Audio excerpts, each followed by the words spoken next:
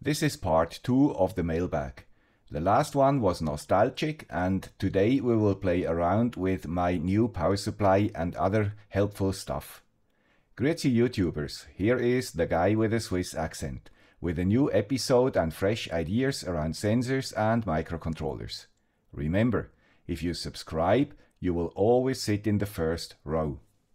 The next one you probably saw already on other channels, but this is a really interesting product and this is why I also bought one. It's very, very small, but extremely powerful. It is a power supply for 60 volts and 6 ampere, RD6006.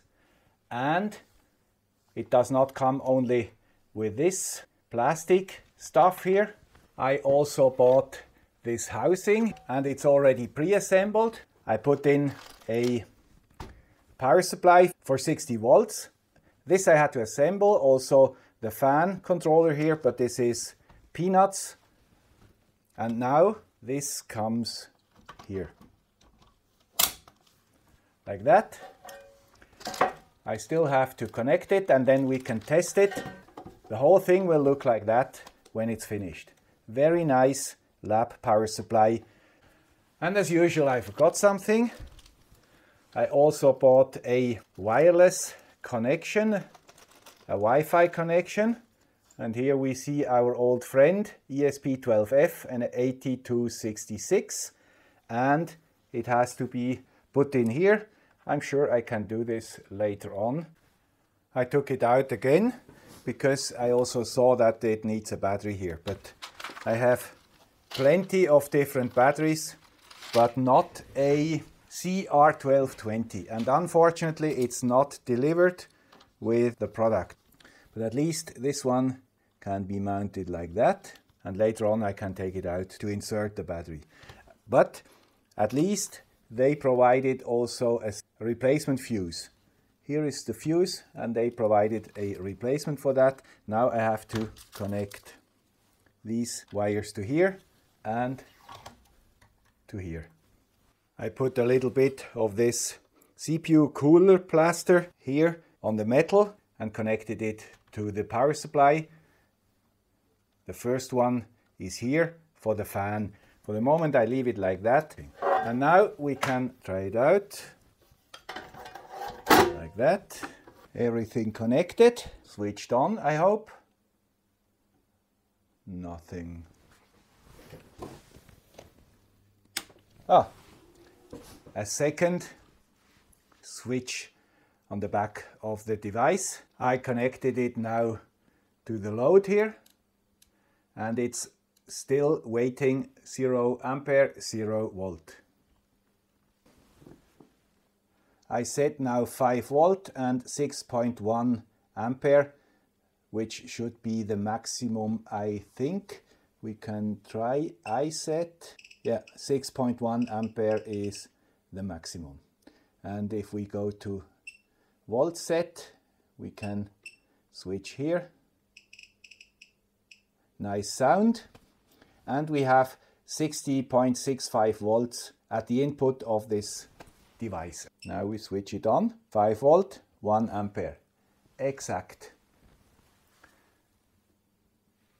2 ampere, 3 ampere, 4 ampere, now it's 20 watt, 5 ampere, 6 ampere, and if I go above 6 ampere, it stops exact or nearly exactly at 6.1 ampere and it switched off. 0.47 volt it's not exactly zero but it switched off. Now if I go back it comes back on. Now we go to 50 volt.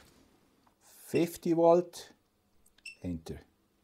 And now it's 50 volt 49.98 and 5 ampere. Now we have 300 watt. So far no problem. Let's check the voltage. The voltage seems to be right. Now I go up with the voltage close to 60 volt, 51, we still have the amperage. I assume that we will not reach the 60 watt, uh, the 60 volt, because the power supply inside only provides 60 volt. 53, 54, 55, and you see now the amperage starts to go down. The voltage is still okay. 56, 57, 58 now, 58-ish. And now it's finished. So it takes about 2 volts for the whole regulation here at 300 watts. Quite good, I think. Because the specification the input of the input voltage is 70 volt, I cranked up my internal power supply to 65 volts 60 volt 5 ampere. It's not 6 ampere it's only 5 ampere. And 300 watt. Here is the listing. I got the one with a W with a Wi-Fi. It was 53.99 I think I got it I bought it at the 11.11 so it was a little bit cheaper. And here $30 the case. And the case is really a very good quality from a color point of view and from a stability point of view. It's uh, well worth the money here. And then of course you need the power supply inside. And this is the listing of the power supply I have. It is a 60 volt, 6 ampere. I did not find the 300 watt limit in the listing of the Ruideng power supply, but I assume because it was exactly at 300 watt, I assume this is a limit which probably is uh, somewhere specified, but I did not see it. So everything together is a little bit more than $100. Now this one is definitely for somebody who wants to spend a little bit more money. It's not necessary for most of us. I had once this smaller power supply from the same manufacturer, also with a Bluetooth connection, but uh, it's less powerful. Of course, much smaller. It also fits on a small desk. This one is quite large here. But if you experiment, for example, with mot motors and stuff like that, the 60 volt is an interesting feature, and also the 300 watt is an interesting uh, feature. If you do not need uh, more than about 20 volts or 15 volts, then you can use here, as I do, a old power supply from a laptop, which is sufficient for most of our projects. So you can even save the power supply if you have a power supply of an old laptop. Laptops have 19 volt power supply. By the way, even after this extensive power testing, nothing was really hot here. And if you are interested in a test about uh, the ripple and stuff like that, you find two videos on the EEVblog. One where Dave made a mistake and uh, got wrong numbers. And then in a second one, he corrected his mistake and uh, measured the right values. And uh, they were, for him, they were okay if I remember right. They provide an impressive PC application on Windows, but unfortunately, it does not work. And their answer is for Wi Fi with PC software, it is not stable, so we don't support that. It works only with the Android app. And the Android app is useless more or less and has only a ranking of about 2.5 or 5 points. That is very disappointing for me. I got those two LED panels for my lab lighting each has 70 watts and 12 to 14 volts. So this is a perfect situation where we need quite a lot of power, 140 uh, watts. And this is exactly what we can do with this new power supply. Let's check it. 2 times 14 volt is 28 volt. So we start at 21 and crank it up until we have our desired 140 watts. 120, 140. And here you see these are really beasts. You don't see anything and the camera even cannot focus right away because it is so bright. Incredible. But the power supply works. They are quite cheap, around $9, $3.69 plus $5.56 for one. And if you order two, it's 1478. So they do not calculate two times the full shipping, which is quite expensive here. This is really an interesting thing if you need a lot of light, but of course you have to cool them. They will not sustain the 70 watts for a long time, I assume. The next two are LoRa modules with the new SX1262 chips from Ebyte. This Ebyte is a very good manufacturer. They have a wide range of different modules and uh, they look like quite high quality. So this one is the E22 and this one is the 400M and this one is the 900M. This works on 868, 915 and this on 433. I bought this one if uh, Julian will start his next satellite. This might be the module I will use. And they are quite big compared to other modules. And why are they big? Because of this 30 here.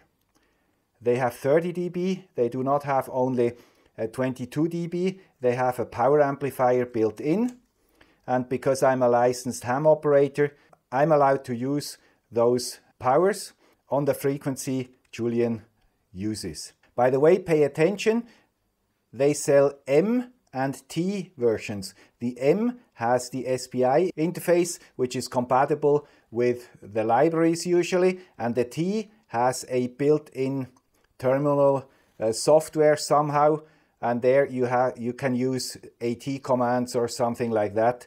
Now, Julian, you have to do your work and start the next satellite. Here is the listing, $5.72.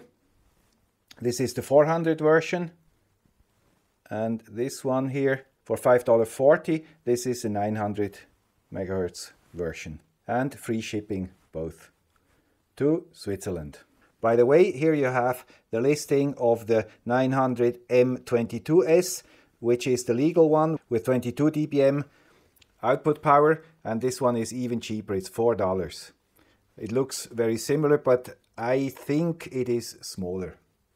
And here I have a bunch of field effect transistors. They are IRL B721. Here is the listing. They are very cheap, 10 pieces, a little bit more than $2 including shipping. And uh, I bought them because they have a very low switch on voltage. And I plan a video about transistors and I wanted to have different transistors to show you the difference. These should be very good with ESP32s because they start at uh, 2 volt and are absolutely 3.3 volt compatible. Not all field effect transistors are compatible with uh, 3.3 volt. This was also a tip from one of my viewers. So we will see if I can use them in the video. And here we have another thing.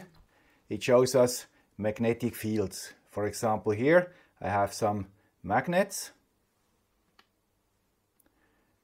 and here you see the magnetic field.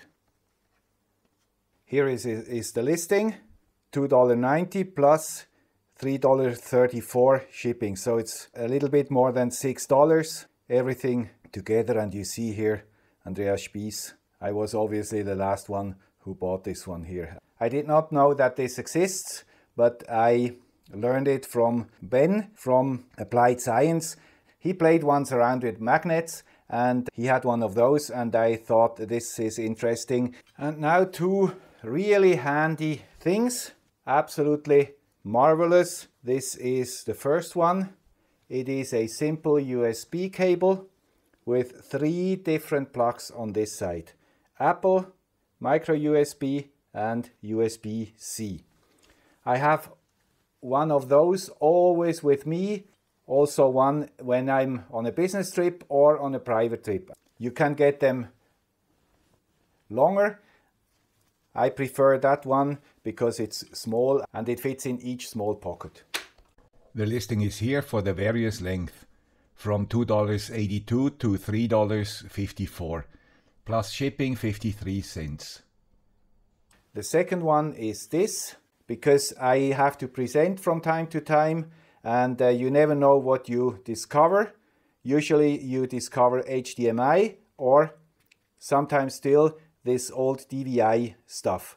And I was quite often happy when I was able to use this one because these HDMI connectors still are not always compatible and I had uh, sometimes problems with presenting through HDMI. Now my new laptop, it's a Surface from Microsoft, has a display port which is quite handy, but I think you get them also for micro HDMI and stuff like that. This is really something which saved my quite a few times. Usually Ugreen sells good stuff. I have cables and other things from Ugreen and I was always uh, so far happy with them. Here is the listing and probably you discovered it. I said something wrong. This is still a VGA connector, but this is usually available in, at least here in uh, Europe, in many boardrooms or whatever I do present sometimes.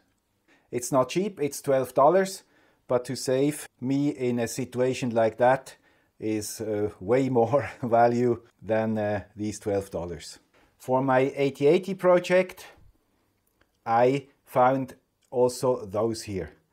These are simple devices, 8 LEDs connected with 8 current limiting resistors connected to 3 volts. Nothing special, but very convenient if you have to display 8-bit in parallel. And if you have to display 16-bit, you just use two of them. Very, very handy. The second thing I discovered is a simple foam here. This black foam to store ICs. These are now 8251s and those are also 8251s. I have this size here, I think it's 20 by 20 centimeters. You get them in thick and in thin. So this one is thin and you still can mount ICs on both sides. Here I have the same with thick ones, but I think it's not necessary if you do not hit exactly the pins from one side and the other. They are anti-static, so you protect your ICs here, and they are stored neatly. I also started to put them in those bins here. On the bottom you see this black foam here. These are the thin ones. Maybe they protect these parts a little bit more, especially maybe if it's only components and stuff like that. But it's not done everywhere as you see here. You have to cut out every one and put it there. The dimensions do not have to be completely exact. Here you have the listing of the foam, the 3 millimeter and the 10 millimeter. The 3 millimeter is 121 and the 10 millimeter is 206 for one sheet. And uh, one sheet is, is not too bad. You can uh, store quite a lot of small components with one sheet. I ordered here three of them and now I'm really happy with it. I do not think I have to reorder in the next few months. This is the listing of these 8-bit LEDs. They cost $1.66. This is really not a lot. You see here four colors for 8 LEDs and we will see them in our project in one of the next videos. By the way, I always had to order two of them. If I ordered four, then they wanted to charge me shipping. I do not accept that because if I buy more, they should also be free shipping if one is already free shipping. Now this you would probably not expect in an electronics lab. They are ordinary carbon fiber rods. 12 millimeter in diameter. What the are they for here in this lab? Together with a little bit of 3D printing, it starts to make a little bit more sense. Here I have more 3D printed parts, but still probably not clear to everybody what this will be in the end. Now come a little bit aluminium tubes cut to different length. Now it's quite obvious. It will be a directional antenna for 144 and 433 megahertz. So this is good for all the satellite experiments for the near future. And because I can produce it myself, it's really quite cheap. The guy who made the project claims that it works. Here is the listing. They sell it in different uh, colors. Uh, no, not really. I have those four pieces. 12 is outer diameter, 10 is inner diameter, and 500 is the length. And they are $15. Free shipping. Not cheap, but for an antenna you easily pay $150 if you buy it ready-made. Of course, the aluminium you have to source locally. This was all for today. I hope these mailbag videos were useful or at least interesting for you. If true, please consider supporting the channel to secure its future existence. You find the links in the description. Thank you. Bye.